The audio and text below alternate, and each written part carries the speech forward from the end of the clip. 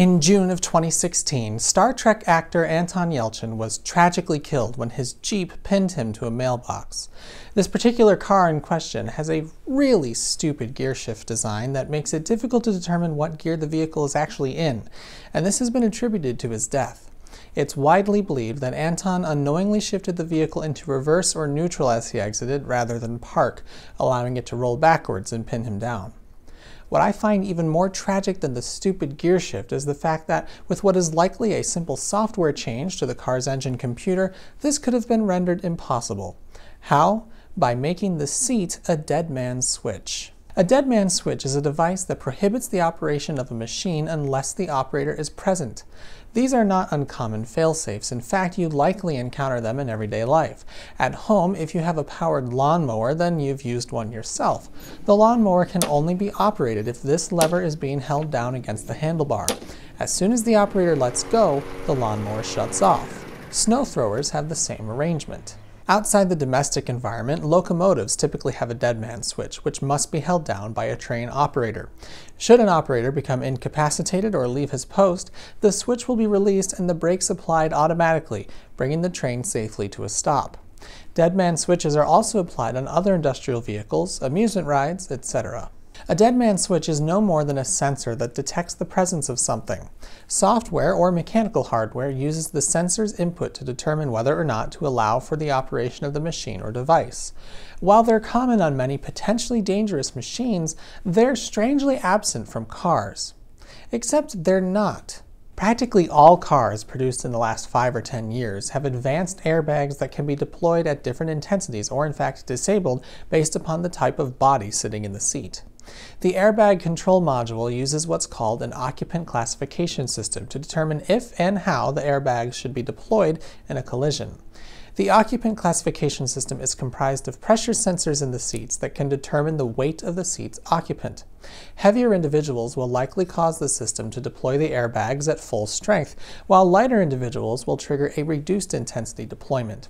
Very light people, such as children, will prevent the airbag from deploying as it could in fact be more harmful than helpful. Also, the system will outright disable the airbags if no one is sitting in the seat. Why do I bring this up? Well, because the car has sensors that can determine if no one is in the driver's seat, and with just some simple programming, the car could be prevented from moving if the seat is unoccupied. Let me explain. Many people don't realize it, but the controls in your car are becoming less and less real. For instance, the accelerator pedal no longer pulls a cable which physically opens the throttle. Now it's just a sensor that sends its position to the computer, which then opens the throttle electronically based on that sensory input, a technology commonly called drive-by-wire. Many gear shifts no longer have a connection to the transmission. They simply tell the computer what gear is selected, and the computer does the rest. There are even cars now that don't have a direct connection from the steering wheel to the steering rack, so-called steer-by-wire. It would not be difficult to arrange a shift interlock based on the occupant detection sensors in the seat. All cars already have a shift interlock that prevents the driver from shifting out of park unless the brake is applied.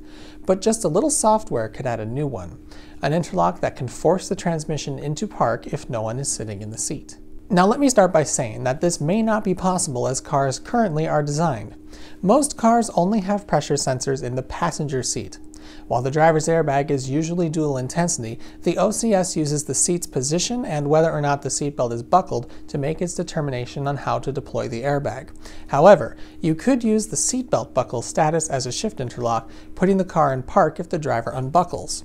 But I could see this presenting problems both from public resistance, there are after all some people who still refuse to wear seatbelts, and there could be practical barriers as well. In any case, it's very likely that there is no interface between the occupant detection system and the engine computer, since the airbag module is typically operationally separate.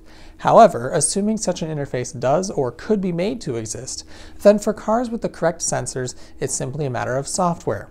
For models where pressure sensors aren't currently in the driver's seat, since passenger seats are already just a symmetrical copy of the driver's, I don't see adding the pressure sensors as a large barrier. All that's needed to prevent the scenario that led to Anton's death is just a little bit of code that checks the sensors in the seat to determine if someone's sitting in it. If the sensor sends back an empty seat signal, then the vehicle is prevented from shifting out of park. But more importantly, the system could be designed to automatically shift into park if the seat becomes empty while in another gear. If this system were in place, then even though Anton unknowingly left the vehicle with the transmission out of park, the car could have detected he exited and automatically shifted to park. Cars with a manual transmission could use the same system to apply an electronic parking brake, a feature becoming more common every day. These days, it's downright lazy to ignore potential safety upgrades like this. Remember the whole debacle with the supposed runaway Priuses, Prii, whatever? That made accelerator overrides mandatory, where the computer would disable the throttle if it detected the brake was also being applied. It was an easy thing to design since the computer already controlled the throttle and it already accepts input from the brake pedal. That's how the computer knows you've stepped on it to disable cruise control. These quick changes in programming have the potential to save lives, and we already know of one that would have been saved. As the computer becomes more and more integrated into the operation of a vehicle, there are more and more things that can be done to make the car safer.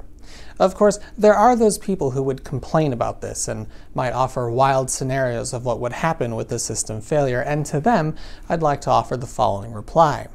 If you're worried about this sort of thing, you should really look into how modern engines are controlled.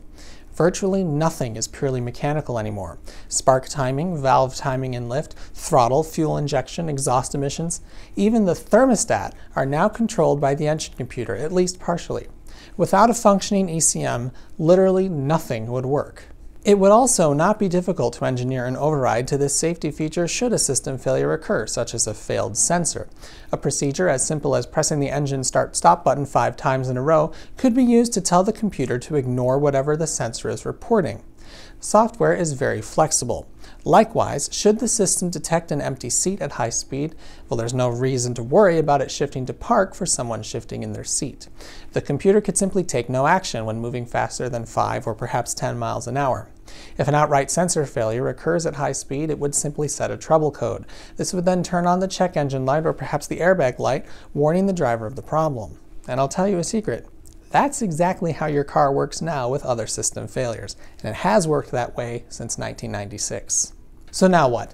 Well, here's where we have two options. Either no one at any automaker has ever thought of this, which I suppose isn't impossible, and we'll start to see software like this installed on cars of the future, or perhaps sent via an over-the-air update, Tesla. Or there's some desire to prevent such a system from being implemented. Perhaps our friends at the regulatory level would like to say something about this, or maybe I'm crazy and there's absolutely no need to do this as we couldn't possibly justify the cost. Which is virtually nothing. Again, software, computers, flexibility. Before I sign off, let's go back to lawnmowers for just a moment. Riding lawnmowers have a dead man switch too, just like your push mower. Where is it? Well, it's in the seat. If the rider gets up, the mower shuts down. So it's not like this is a foreign concept. Anyway, thanks for watching. If you like videos like this, be sure to subscribe to Technology Connections. I'm doing my best to keep videos like this coming your way. I'll see you next time.